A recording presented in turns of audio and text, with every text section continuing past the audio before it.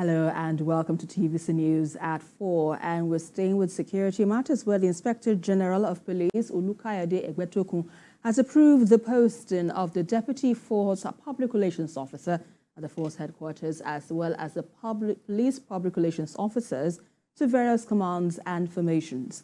This development was announced in a statement by the Force Public Relations Officer, Olumuyiwa Adejobi, the statement mentioned that these appointments were meant to strengthen community engagement and strategic communications. The appointed public officials are CSP Isuku Victor, Edai, Edai Lokun as Deputy Force Public Relations Officer of Force Headquarters Abuja, and DSP Ukandu Joshua to serve as a PPRO Ebonyi.